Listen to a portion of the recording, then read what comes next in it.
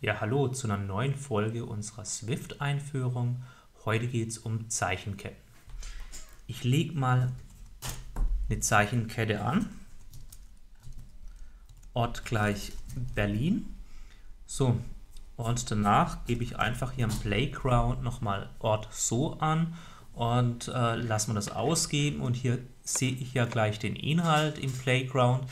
Wenn ihr vielleicht nochmal wissen wollt, äh, wie ihr den Playground startet und was der Playground ist, dann klickt vielleicht einfach nochmal hier den Link, zu, da kommt er zu einer Folge, in der der Playground nochmal beschrieben wird.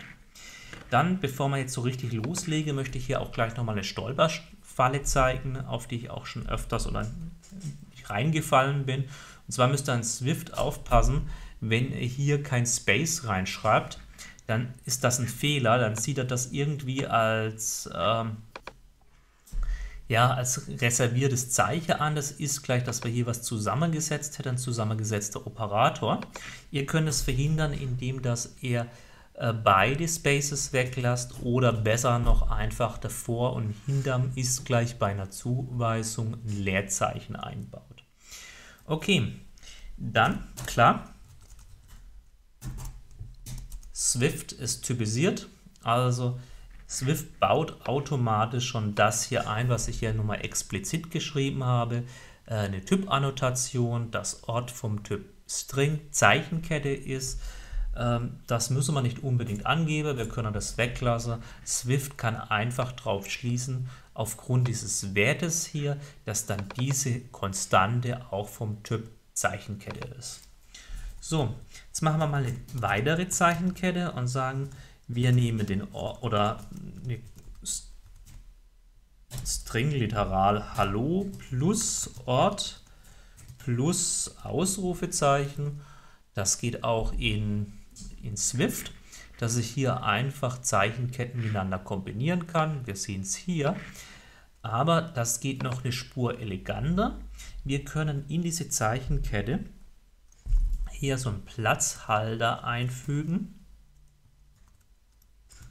Backslash, geschweifte Klammer auf, geschweifte Klammer zu und können jetzt hier einen Ausdruck platzieren, den er direkt hier ausrechnet. Wir sehen 5 plus 5 ist 10 und noch ein einfacherer Ausdruck wäre zum Beispiel die Variable Ort und schon sieht die Zeichenkette hier wesentlich einfacher aus. Ich setze jetzt hier einfach den Ort rein. Und da erspare ich mir das mit ja, Hochkomma auf oder Gänsefüßchen zu plus Gänsefüßchen auf und so weiter. Das Ganze wird hier um einiges einfacher. Jetzt möchte ich mal weiter die Zeichenketten analysieren und vielleicht mal hier mit einer Vorschleife über die Zeichen der Nachricht ja, iterieren.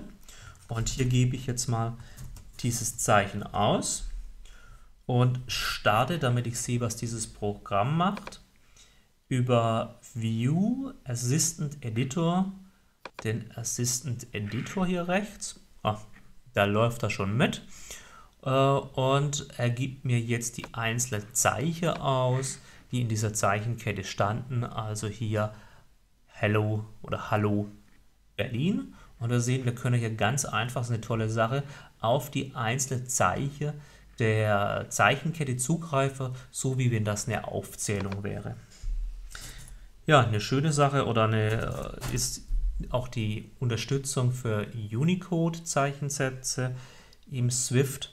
Ich lege mal hier eine Variable an Story und erzähle mal eine kleine Geschichte. Da kommt einer mit dem Auto, ja, die Ampel ist rot und ich füge hier mit Control Apfel und Space einfach Sonderzeichen ein. So. Und meine Geschichte ist fertig.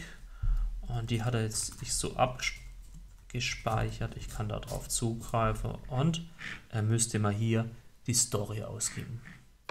So, was gibt es zu Zeichenketten noch, was wir an der Stelle wissen sollten? Eine ganz wichtige Sache, die oft vorkommt, ist ein Zeichenkettenvergleich.